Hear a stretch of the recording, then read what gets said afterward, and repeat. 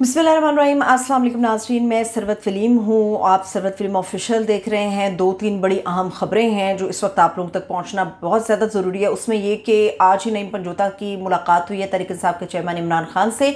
आ, कुछ वकालतनामों के ऊपर उन्होंने दस्तखत करा लिए पावर ऑफ़ अटर्नी उन्होंने ले लिया मगर जो बड़ी अहम डेवलपमेंट है कल एक बहुत ही अहम समात होने जा रही है कि इमरान खान जो कि तहरीक इंसाफ के चेयरमैन हैं उनको अटक जेल से मुंतकिल किया जाए। कल फौरी तौर पर इसके अहम केस की समात होने जा रही है और इसकी समात करेंगे इस्लामाबाद हाई कोर्ट के चीफ जस्टिस आमिर फारूक साहब।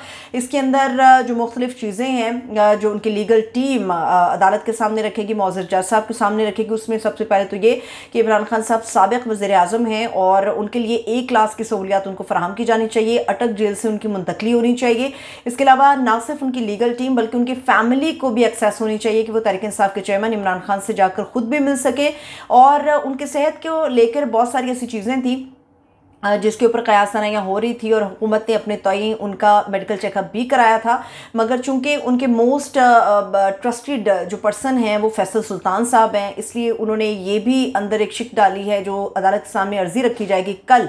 अब इसे चंद घंटों के बाद, रात गुजरने के बाद जब अगली सुबह होगी तो ये समात होगी, जिसके अंदर कहा जाए कि फैसल सुल्तान साहब जो हैं, उनको मेडिकल चेकअप की जो है, वो सहूलत फराम की जाए और ना सिर्फ़ उनको इजाज़त दी जाए, बल्कि जो इनका एक प्रॉपर चेकअप हो, वो डॉक्टर फैसल सुल्तान साहब की तरफ़ से होना चाहिए।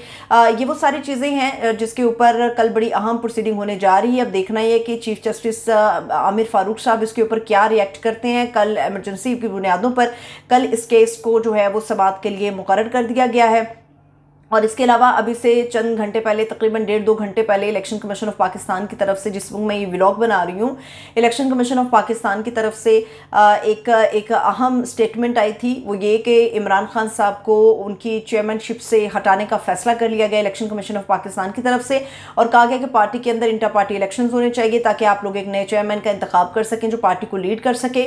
कुछ लोगों ने सोशल मीडिया पर इस अफवाह को जन्म दिया है कि शायद इमरान खान साहब के बाद उनकी बहन तहरीक इंसाफ को लीड करेंगी तो ऐसा कुछ होने नहीं जा रहा। शाह महमूद कुरैशी साहब ने एक बड़ी अहम प्रेस कॉन्फ्रेंस आज इस्लामाबाद में की है, जिसमें उन्होंने साफ़ और वाशकाफ अल्फाज में ये बात बता दी है कि चेयरमैन कासिम के अबू थे और कासिम के अबू ही चेयरमैन रहेंगे। यानी कि इमरान खान साहब भी चेयरमैन थे और वो एक लीगल लीगल बैटल उनको उनके लिए उनकी पार्टी लड़ेगी कि जो चेयरमैन है, वो इमरान खान साहब को ही बरकरार रखा जाए। अभी भी इमरान खान साहब हैं और आगे फर्दर भी इमरान खान साहब को रखा जाएगा। अब देखना यह कि इलेक्शन कमीशन ऑफ़ पाकिस्तान इसके ऊपर क्या अपना पैंतरा अपनाता है और दूसरी इसके अलावा तकरीबन 48 घंटे बाकी रह गए इस गवर्नमेंट के जाने में और 48 घंटे की इस गवर्नमेंट के अंदर जो एक बड़ी डेवलपमेंट आज सामने आई है वो ये कि लंदन में बैठे मियाँ नवाज़ शरीफ साहब ने पाकिस्तान के अंदर निगरान वजी अजम के हवाले से नाम फाइनल कर लिया है। अभी तक जो हॉट कैंडिडेट हैं वो हफीज़ शेख साहब हैं मगर देखना ये है कि तकरीबन एक घंटे के बाद ये कुरा किसके नाम पर निकलता है।